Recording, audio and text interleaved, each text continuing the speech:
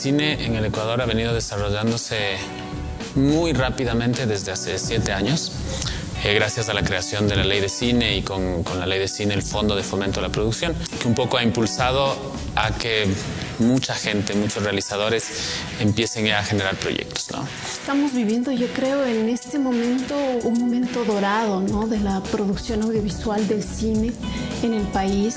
Si hace 10 años habían una, dos estrenos ecuatorianos al año, Estamos en un momento en que se producen cerca de 20 o 25 películas ecuatorianas cada año.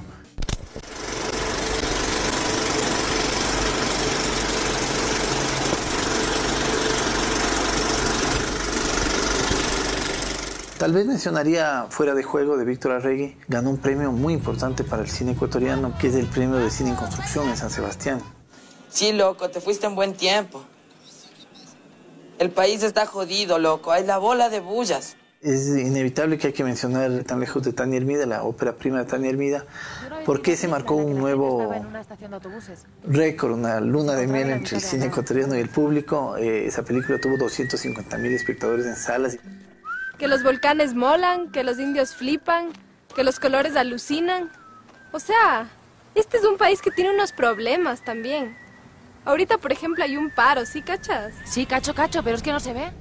Quizás eh, la película de Tito Jara, se llama Tus espaldas, es un, un intento bastante interesante y logrado. Ella ubicó al norte a los ricos y encerró en el sur a los pobres, intentando que no nos mezclemos, que no nos miremos. Por supuesto, las autoridades sellaron el acuerdo y colocaron sobre la loma una gran estatua de una virgen que observa y bendice al norte mientras da la espalda e ignora el sur. Yo nací en el sur. Que es con mi corazón en Yambo. Un documental con un tema finalmente bastante político. Fue de lejos el, éxito de taquilla del 2011. Con salud. La vida iba muy linda y todo parecía normal hasta que todo fue normal. Quizás vale la pena mencionar Feriado, la ópera prima de Diego Araujo. La menciono porque es la primera película que llegó a la selección del Festival de Cine de Berlín, de la Berlinale.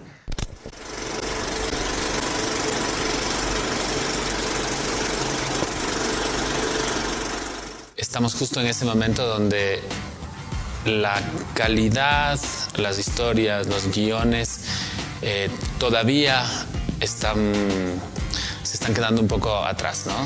Donde todavía estamos eh, apuntando al cine como una actividad artesanal, cuando siento que es el momento de dar el paso hacia, hacia una industria, ¿no? Hacia una, hacia una industria local necesitamos formarnos las personas que, que estamos en, este espacio. Y claro, nosotros como INPU, la televisión pública, el CNCine, eh, el Ministerio de Cultura y todas las entidades que eh, apoyan esta, eh, estas iniciativas culturales tienen que promover la formación para entregar productos y en este caso películas, producciones audiovisuales de mucha más calidad. Yo no me atrevo todavía a hablar de industria cinematográfica en Ecuador, pero sí se ha industrializado mucho las maneras de producir películas en el Ecuador. Hemos, hemos superado, yo creo, una fase que era muy artesanal.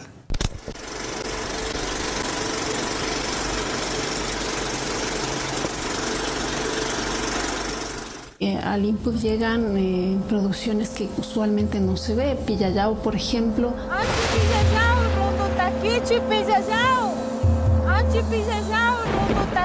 Pillayao. Todo lo que se hace cine bajo tierra y, ese tipo de iniciativas que eh, plantean una ruptura de, ciertos esquemas ya, preestablecidos dentro del cine.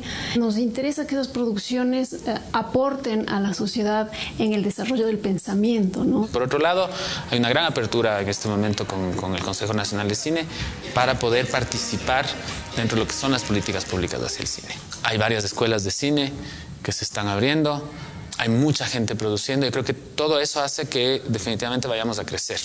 Auf eine neue Weltordnung! Prost! Prost! Prost! Prost.